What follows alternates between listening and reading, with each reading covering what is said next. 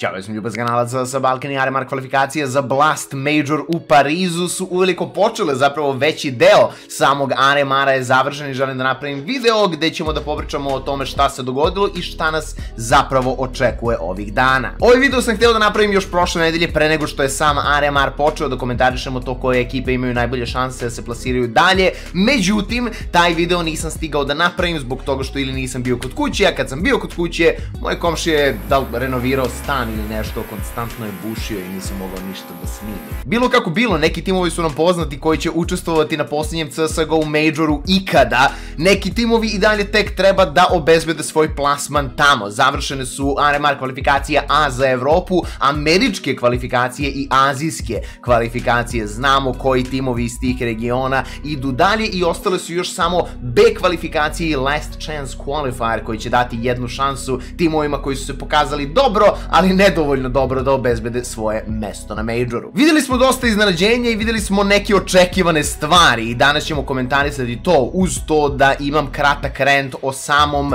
formatu i sistemu sidovanja ekipa koji iz godine u godinu deluje kao da je sve manje smislen i kažnjava neke timove koje suštinski ne bi trebalo da kazni dok nagrađuje neke ekipe koje nema razloga da nagrađuje. Kao što znate da bi se neki tim kvalifikovao za Major on mora da prođe kroz otvorene kvalifikacije, nakon toga kroz zatvorene kvalifikacije i nakon toga kroz RMR. RMR se naravno igra ovih dana. Većina toga se održava u Swiss Stage formatu, što suštinski znači da ako dobijete tri meča, vi ste u top 8 i verovatno idete dalje, ako izgubite tri meča, vi ste van top 8 i verovatno ne idete dalje, zavisno naravno od regiona u kom se igra. Ako završite 3-0, odnosno bez jednog poraza, vi ste negde na samom vrhu tabele, ako završite 0-3, vi ste jedan od najgorih ekipa koja se našla u samoj Swiss tabeli. Međutim, jedini region koji zapravo nije imao Swiss stage je azijski region, za mnoge najmanje interesantan, za mene relativno zanimljiv i obratio sam pažnju na neke mečeve. Mislim da je ovo najbolji azijski aremar koji smo imali do sada, tim pre što ima duplo više učesnika nego bilo koji do sada. Najčešće je azijski aremar imao samo četiri ekipe koje su učestvovale, od koje su dve prolazile dalje na Major, kao što je slučaj bio prošli put. Ovaj put se za ta dva mesta borilo osam timova i bilo je nekih zvučnih imena. Invictus International je izuzetno poznata organizacija, taj Lu tim koji ima, rekao bih, tradiciju prolaska na sam Major i zapravo iznenađenja na istom Greyhound Gaming koji je pokazao fantastičnu formu i IHC, odnosno ekipa koja je igrala pod imenom Mongols ovde, od koje se suštinski očekuje da se dobro pokaže. Ja sam u određenoj meri navio za Tailu, zato što mislim da Tailu kao organizacija sa istorijom učestvovanja na Majoru zaslužuje da se nađe na istom, to se nije dogodilo, ekipa Tailu, a se nije najbolje provela, dobili su samo jedan best of 3 upravo protiv Invictusa Mongosa. Dok sa druge strane, relativno očekivano, ako ste neutralac, ekipa Greyhound Gaminga i ekipa Mongolza su uspela da prođu dalje. Dva tima koje su, kada je azijski region u pitanju, verovatno trenutno u najboljoj formi. Mongolzi iz Mongolije su već učestvovali pod imenom IHC na Majoru, takođe su učestvovali na nekim prilično velikim turnirima umeđu vremenu i ovo je tim koji nastavlja da pokazuje dobre rezultate i da se izuzetno dobro snalazi. Greyhound Gaming je imao izuzetno dobru formu u ESL ESL Pro ligi, rekao bi da su nastavili sa time, prošavši kao prvi seed Azije na sam Major bez i jednog poraza, izgubivši, ako se ne varam, samo jednu mapu u celom procesu. Takođe, tim koji je mnogima bio interesantan je bio Twisted Minds, za koji igra Lobanjica. Ovo je bio mix sastav koji je došao na sam RMR i pokazao se mnogo bolje nego što su mnogi očekivali. Oni su uspeli da pobede dva best of 3 da bi nakon toga bili poraženi od Rare Atoma, koji takođe nije uspeo da se plasira dalje, ali ali zapravo mislim da je ovaj tim uspeo da iznenadi i rekao bi da nagradi brojne navijače koji su naravno pre svega tu zbog Doka i Lobanjice, dva čoveka koji su prilično poznati na društvenim mrežama, na Twitchu, na YouTubeu. Drago mi je zbog njih, ali nisu mogli mnogo više od toga da očekuju. Kada govorimo o Greyhoundu i Mongolzima, ovo su dve ekipe koje pretpostavljam da će mnogi da stave na 0-3 na svom pikemu u Challenger stage-u, na samom Majoru i smatram da bi to mogla bude greška i jedni i drugi mnogi su pokazali u prošlosti da su u stanju da savladaju neke ozbiljne timove i pogotovo kad pogledamo diskutabilne forme najboljih svetskih timova, ovo je možda i dobra šansa za njih da prođu i dalje od samog Challenger Stage. Američki Aremar je bio interesantan, kao što znate Amerika se nalazi negde između Evrope i Azije kada je u pitanju kvalitet Counter-Strike-a, američki Aremar je uključio i Južnu i Severnu Ameriku kao što to već neko vreme tradicija i nalaže. I videli smo eliminacije nekih timova koji su možda neki preželjkivali da vide na samom Majoru, ali rekao bih da su glavni favoriti uradili u suštini ono što se od njih očekivalo. Iz američkog regiona prošli su Furia, Pain Gaming, Liquid, Complexity i Fluxo, gde je jedino Fluxo blago iznenađenje toga, ali sa nekim relativno poznatim igračima koji nastupaju za njih. Sumnjam da su mnogi bili previše iznenađeni, možda bi neko stavio neki Zero Zero Nation ili Miber ispred njih, ali smatram da je Fluxo pružio dovoljno dobru igru da prođu na sam Major i oni su izuzetno zadovoljni time. Furia je na kraju u tiebreakeru za prvo mesto obezbedila sebi to jedino a, američko mesto u Legends fazi, pobedivši ni manje ni više nego Pain Gaming, koji polako postaje jedna ozbiljna ekipa i smatram da bi na Majoru mogli da budu opasni. Complexity i Team Liquid jesu kiksnuli, ali su pokazali ono što se od njih suštinski i očekivalo. Čak ne mogu da kažem da je poraz od Paina i Furije za Complexity, odnosno Liquid, veliko iznenađenje gde kada igraju protiv takvih timova očekuje se da će biti u suštini 50-50 meč i to smo i dobili. Mislim da Amerika, zahvaljujući pre svega južnoameričkim timovima u poslednje vreme pruža jako dobre timove, neke fantastične talente i da bi to moglo pre svega da se vidi na ovom majoru. Mnogo igrača je tu došlo da se pokaže, mnogo igrača je došlo da pokaže da forma koju su nekada davno imali bi mogla da se nastavi i sad. Očekujem dobre stvari od ovih ljudi, čak i Fluxo koji kao što sam rekao za mnoge je iznenađenje, ima dosta poznatih imena u svom sastavu koji su već igrali majore, koji su već zapravo otišli i u neke dalje faze major turnira, tako da smatram da čak i ovaj tim koji je poslednji seed Amerike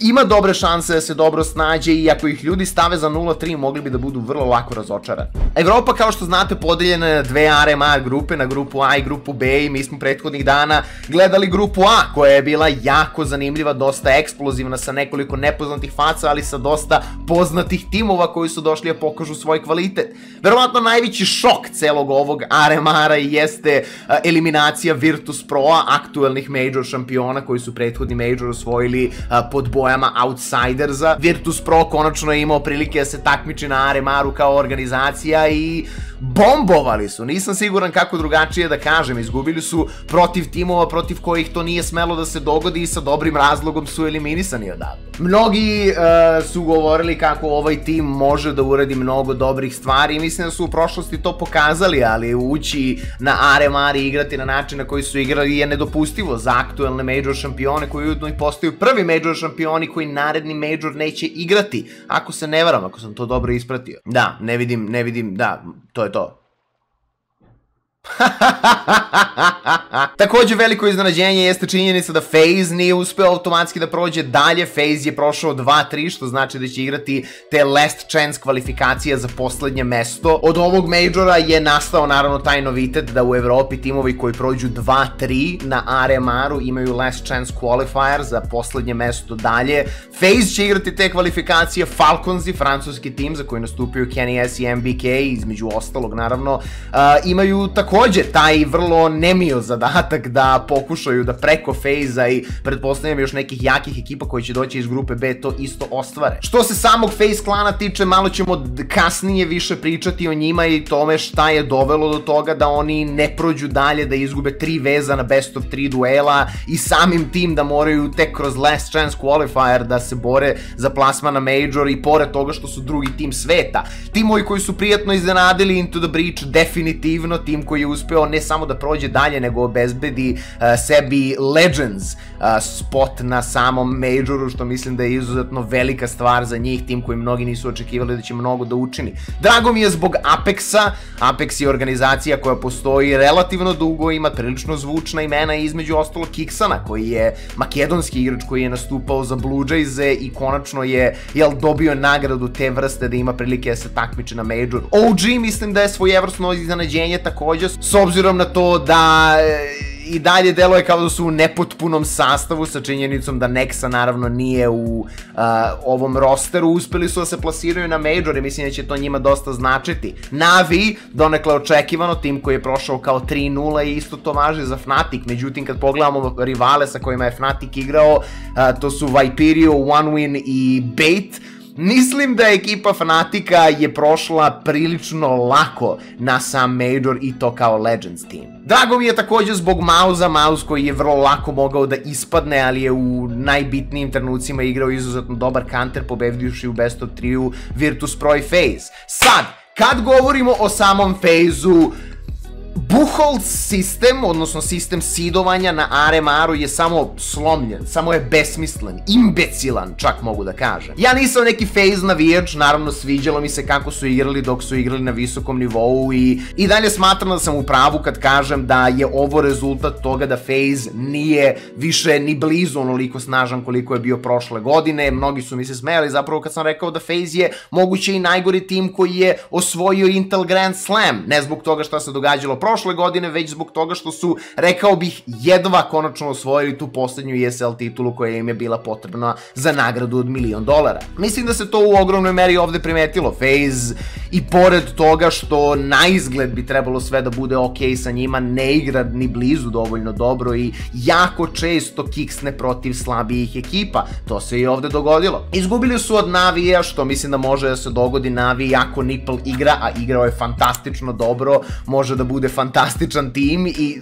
sa razlogom je Navi bio bolji od FaZe-a. Nakon toga poraz od Bad News Eaglesa, nakon toga poraz od Mauza, mislim da FaZe ima dosta razloga da se brine, sve i da prođe na main. Svaka čast by the way za Bad News Eagles. Polako mi prerastaju srcu. Znam da sam ih uvek otpisao zato što sam smatrao da njihov pagerski kanter mora kad tad da bude kažnjen, ali oni iz Majora u Major samo igraju kao superheroji. Drago mi je da je ekipa koja je jako dugo igrala regionalne balkanske turnire, već izuzetno dugo igra jako dobar kanter, bez obzira na to što nemaju neku veliku organizaciju koja stoji iza njih. E sada, kada govorimo o FaZe-u, FaZe je svih svojih pet mečeva igrao protiv timova koji bi na posledku se plasirali na Major Da li vam to zvuči normalno? Kao što sam već pomenuo, uh, Into the Breach imao je neke lake rivale, imao je Sprout, imao je Virtus Pro, imao je Bait, sva, tri tima koje je Into the Breach pobedio, svaka čast na tome što jesu pobedili, ali nijedan od ta tri tima nije uspeo da se plasira na sam Major, makar ne još, Bait će svakako imati još jednu šansu. Fnatic je igrao protiv Baita, Viperia i Onevina da bi bio 3-0, takođe malo besmislena stvar da imaš u borbi za 3-0 Fnatic protiv Baita i Navi protiv FaZe-a, da li, da li to vama nešto smrdi? Meni smrdi, meni je glupo. Sve u svemu mislim da prosto Valve i kogod naravno bude radio naredne major kvalifikacije i majore mora dobro da razmisli o tome kako će sam kvalifikacioni proces e, funkcionisati i ono što je jako bitno, Buchholz sistem samo treba da bude eliminisan, jer ne funkcioniše, ne nagrađuje timove koji su dobri. FaZe je drugi tim sveta, on ne bi trebalo da igra protiv toliko jakih timova, uh, iako jeste zasluženo, jel, ne plasirao se dalje, smatram da to nije smelo da se dogodi. Ne znam šta vi mislite o svemu ovome, recite mi u komentarima ispod, ali Ja samo smatram da ceo kvalifikacioni proces za Major mora dobro da se promisli, mora mnogo da se izmeni i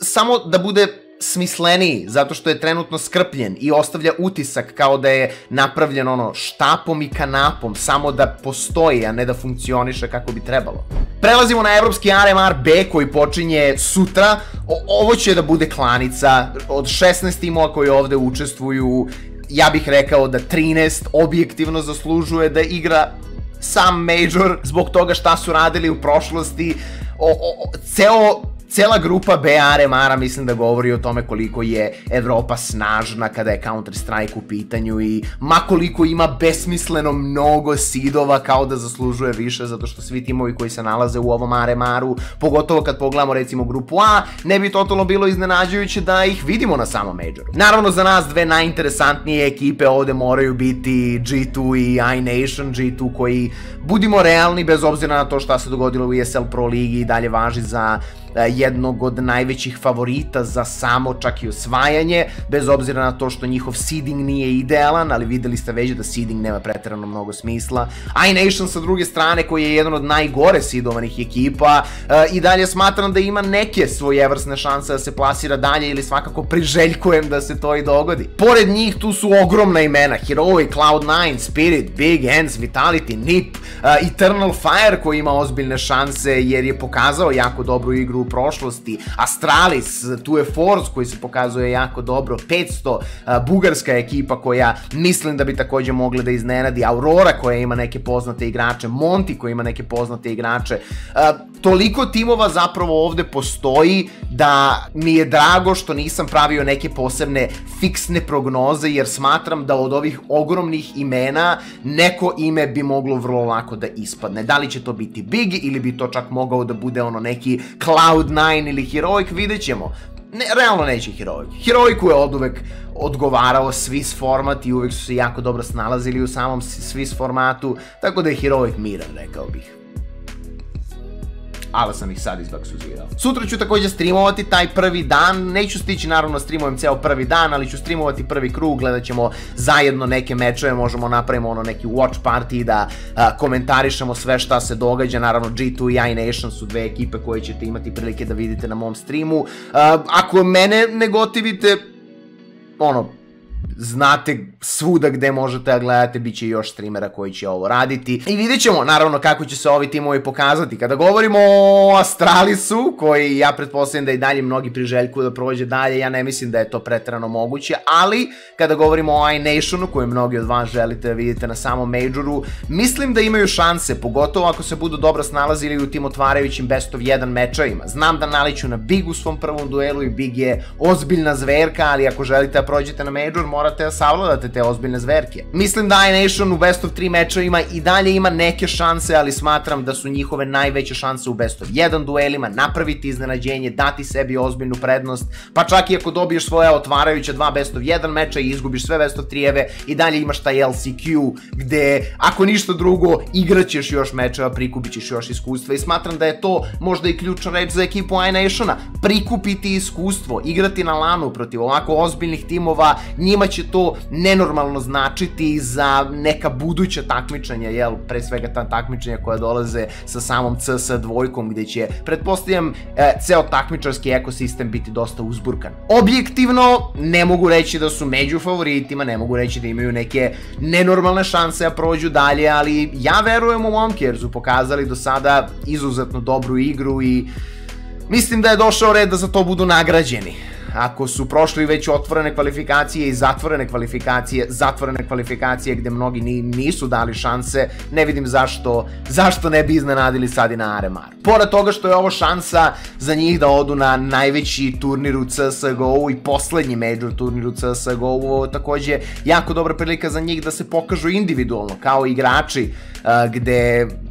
ako neko bude odigrao dobro, mislim da bi mogao da čak zaigra za neku veću orgu u mesecima koji e, dolaze, pogotovo s obzirom na to da znate kako stvari funkcionišu. Kad se Major završi, timovi menjaju igrača i timovi će gledati ko se najbolje pokazao na Aremaru kako bi našli neka pojačanja. Što se samog G2-a tiče, oni nikad nisu sigurni, uh, uvek mogu da budu iznenađeni i to smo videli a, tokom ESL Pro lige, ali nadam se da ta ranija eliminacija na ESL Pro ligi im je dala vremena da se pripreme za Major. Oni su svesni toga koliko bi ovo značilo i njima individualno i naravno celoj organizaciji kada bi ne samo otišli na Major, što se de facto očekuje od njih, već kada bi zapravo se i borili za samu Major titul. Ako ću već da bacam prognozu i ovo je ono, šta bih ubacio da postoji pikem za RMR, stavio bih G2 uh, i Heroic kao 3-0 timove, nisam gledao seedinge i to ko na koga ide, samo sam gledao tipa za iNation. Stavio bih G2 i Heroic kao 3-0 timove, uh,